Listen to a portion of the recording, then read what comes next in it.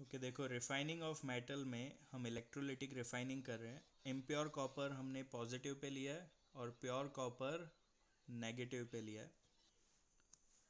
Pure impure वाला anode है और प्योर वाला कैथोड है। सॉल्यूशन में हमने कॉपर सल्फेट रखा है।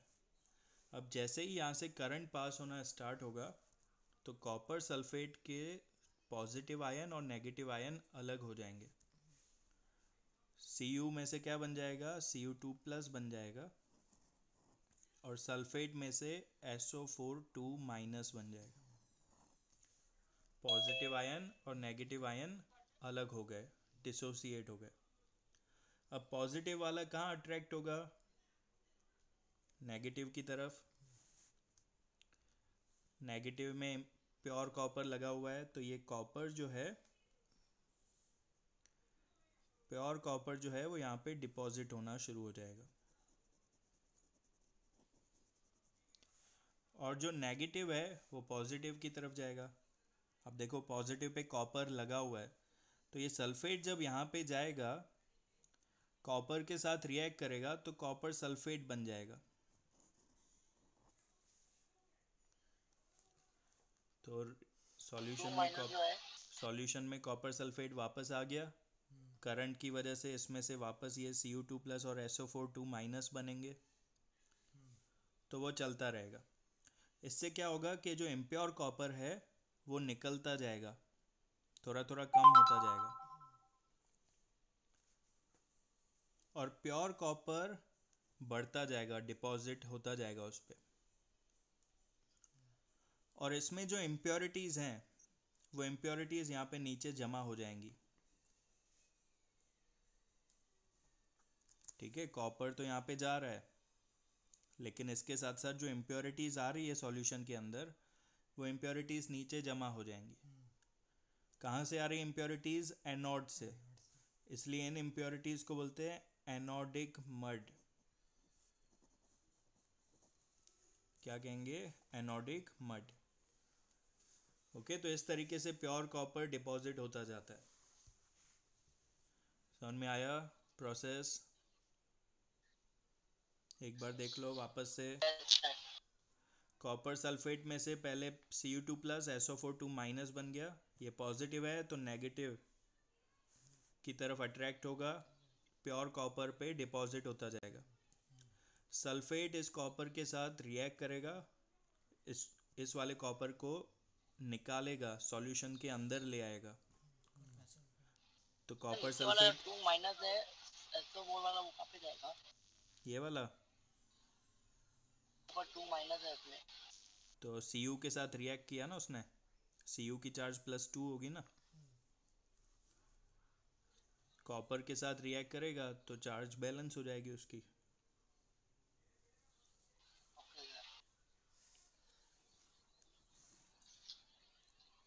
ओके okay, तो एनोड पे ये कॉपर निकलता जाएगा। उसके साथ साथ इम्प्योरिटीज़ भी निकलेंगी जो नीचे एनोड के नीचे जमा हो जाएँगी उसे कहेंगे एनोडिक मड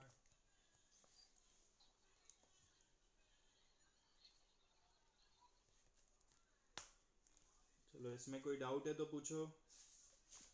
सर हाँ बोलो। ये जो प्योर कॉपर है वो इम्प्योर के पास वापस नहीं जाएगा नहीं। क्योंकि वो पॉजिटिव है ना। एम्प्योर वाला आपने हाँ। बैटरी में पॉजिटिव के साथ कनेक्ट किया है और कॉपर की चार्ज प्लस टू होती है। Positive positive will repel each other उनमें तो रिपल्शन होगा ये नेगेटिव की तरफ़ ही अट्रैक्ट होगा। आगे समझ में? यस सर यस सर चलो फिर करोजन करोजन फ़र्स्ट चैप्टर में भी आया है I think yes sir first था सेकंड दोनों में आया था। तो करोजन में क्या होता है? मेटल्स के सरफेस पे मेटल्स जो हैं वो ऑक्सीजन से रिएक्ट करते हैं। और मेटल ऑक्साइड की एक लेयर बन जाती है। ठीक है? वो मेटल ऑक्साइड की लेयर को हम करोजन कहते हैं क्योंकि उसकी वजह से मेटल की ताकत कम होने लगती है। आपने ये वाला पहले में समझा इसी में भी समझाया था। हाँ जैसे आयरन का कलर कैसा हो जाता है? ब्राउनिश रेड हो जाता है। कॉपर का थोड़ा सा ग्रीनिश हो जाता है। ग्रीनिश या तो फिर ब्लैकिश हो जाता है। सिल्वर और एल्यूमिनियम की भी शाइन डल हो जाती है। ठीक है तो ये सब करोशन में होता है। अब यहाँ पे आपको एक एक्टिविटी दी है, जिसमें तीन टेस्ट ट्यूब दिया आपको टेक्स्ट बुक में। Test tube A test tube B and test tube C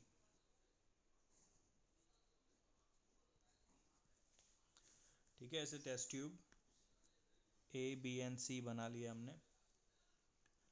पहले टेस्ट ट्यूब में क्या किया है? वाटर फिल किया है। और आयरन नेल जो है, वो इस तरीके से उसके अंदर रखा है। कि आधा हिस्सा उसका पानी के बाहर है और आधा पानी के अंदर। फिर दूसरे में क्या किया? आयरन नेल पूरा का पूरा पानी में डाल दिया और इसमें ऊपर से ऑयल की लेयर लगा दी। ओके, और तीसरे में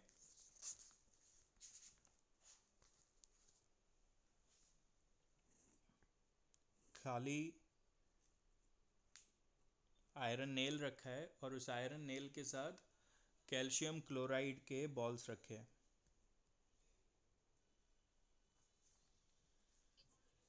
कैल्शियम क्लोराइड के बॉल्स हैं। और तीनों को बंद कर दिया है।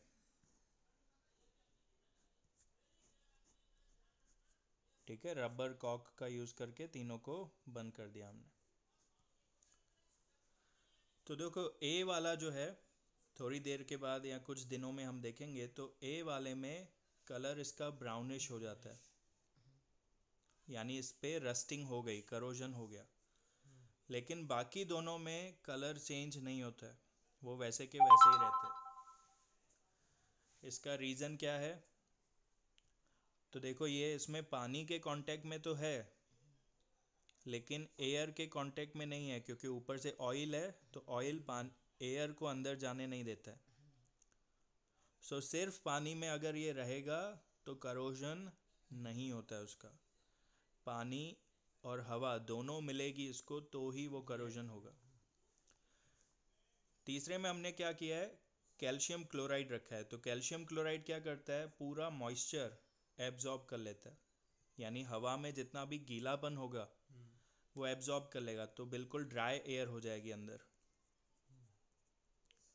तो ड्राई एयर में भी वो करोजन नहीं होता है।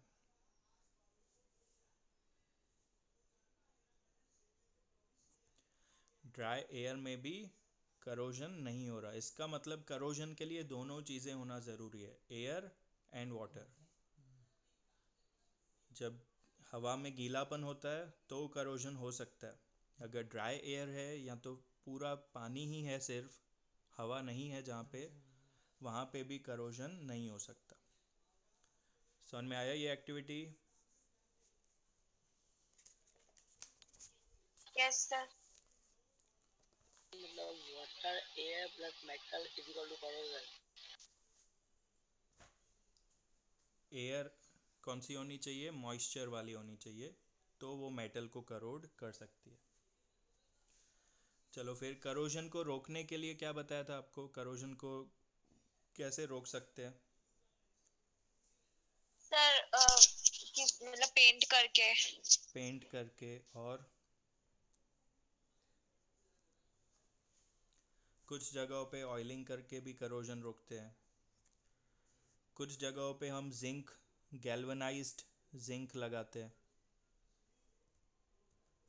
याद है बताया था मैंने कि शिप होती है शिप के नीचे जिंक की प्लेट लगती है। तो इसलिए शिप पे करोजन नहीं होता। गैल्वनाइज्ड आयरन तो उसमें जिंक लगाया जाता है। जिंक क्या करता है? खुद ऑक्सीजन के साथ रिएक्ट कर लेता है और आयरन को बचा लेता है। इसको क्या नाम दिया था हमने? सेक्रीफिशियल एनोड के सेक्रीफाइस करता है।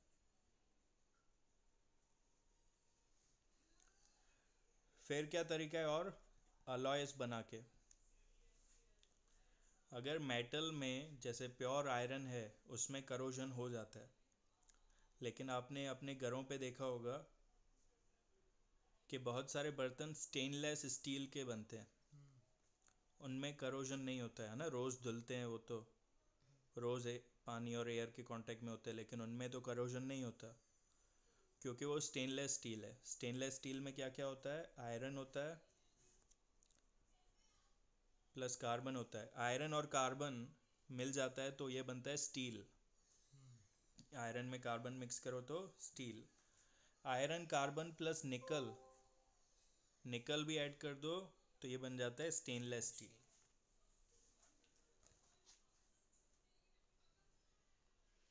sir yes sir galvanize zinc मतलब सैक्रिफिशियल एनोड है तो मतलब उसमें करोजन हो जाएगा?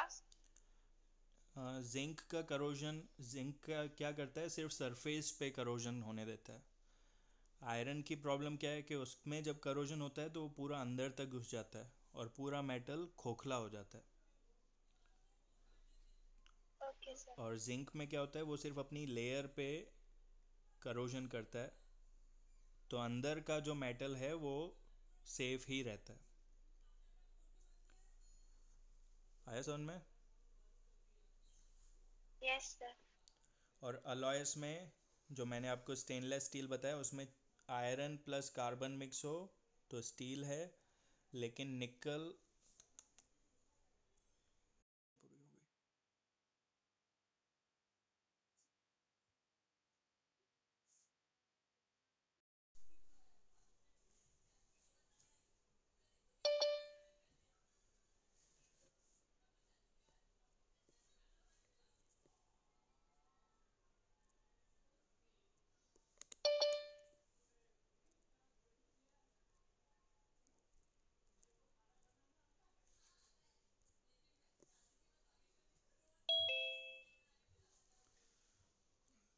चार्ज नहीं है बोलो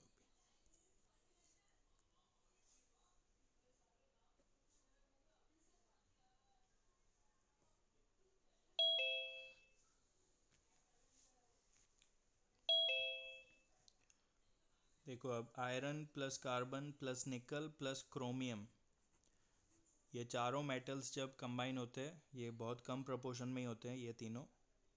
सेवेंटी परसेंट से ज़्यादा तो आयरन ही होता है। ओके okay, तो ये चारों चीज़ें मिक्स करके आप स्टेनलेस स्टील बनाते हो जिसमें करोजन नहीं होता।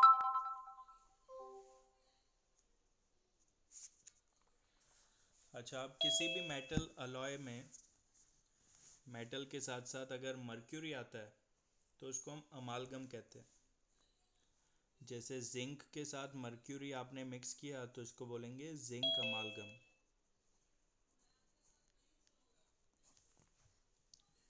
ठीक है, आयरन के साथ किया तो आयरन अमालगम। किसी भी मेटल के साथ मर्क्यूरी मिक्स किया जाता है तो उस अलॉय को अमालगम कहते हैं। A M A L G A M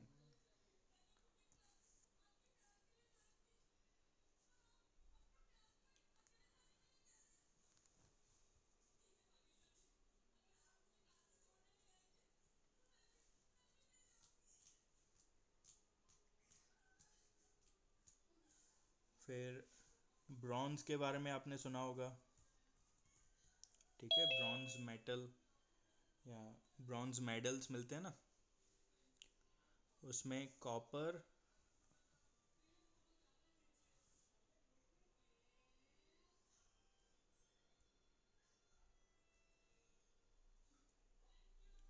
और टिन मिक्स होता है, कॉपर प्लस टिन। टिन यानी एस एन। ठीक है, जो ब्रॉन्ज है ब्रॉन्ज वो भी एक अलॉय है, जिसमें क्या क्या मिक्स है? कॉपर एंड टिन वैसे ही brass is also an alloy जिसमें कॉपर और जिंक मिक्स है। ठीक है, वैसे ही एक सोल्डर सोल्डर मशीन देखी है किसी ने? वायर्स को जॉइंट करने के लिए सोल्डरिंग यूज़ होती है। कभी आपने कोई कंप्यूटर की जो अंदर डिस्क होती है, हार्ड डिस्क, उसमें आपने देखा हो तो मेमोरी कार्ड जैसा जो होता है, उसमें छोटी छोटी वायर्स होती है पतली पतली और बीच में बूंदे लगी हुई होती है, सिल्वर जैसी, जो उन वायर को कनेक्ट करती है। ये जो बूंदी हैं, वो सोल्डर से की जाती है, सोल्डरिंग की जाती है उनकी और सोल्डरिंग में होता है lead plus tin. Lead plus tin P B plus S N इसकी मेल्टिंग पॉइंट बहुत कम होती है तो हम इसको मेल्ट करके इन वायर्स को ज्वाइन कर देते हैं, फिर ये जल्दी सूख भी जाता है।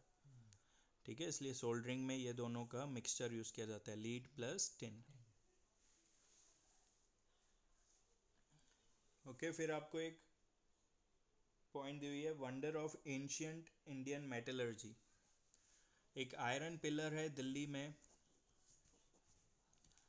जो 1600 ईयर्स पुराना है।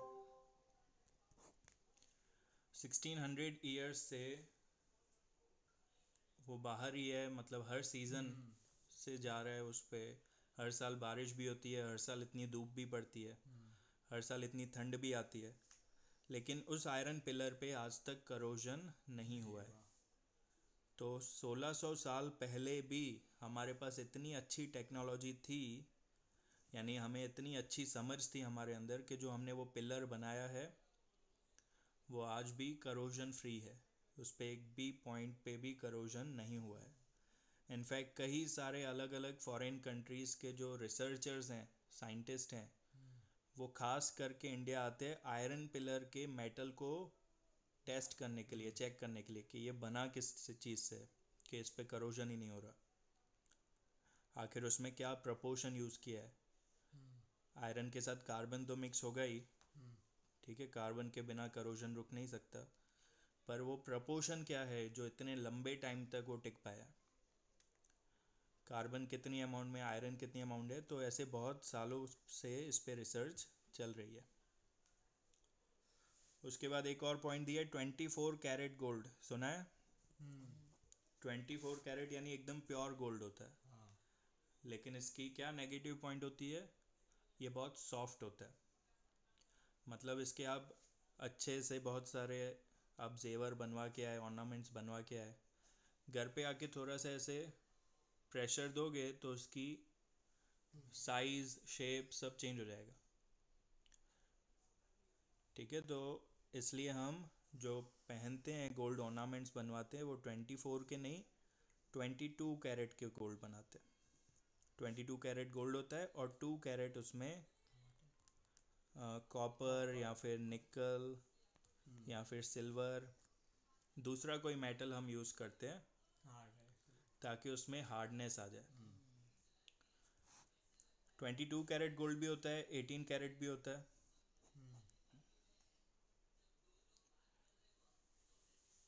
ओके okay, हमारे यहाँ पे गोल्ड क्योंकि बहुत वैल्यूएबल माना जाता है तो हम 22 कैरेट गोल्ड यूज़ करते हैं। फॉरेन कंट्रीज़ में ज़्यादातर 18 कैरेट गोल्ड यूज़ करते हैं वो लोग। चलो समझ में आ गया? कोई डाउट है इस चैप्टर में?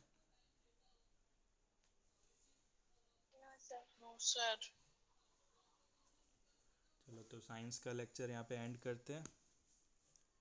अभी थोड़ी देर में मैं इंग्लिश का स्टार्ट करता हूँ। लिंक भेजता हूँ ओके? चलो बाय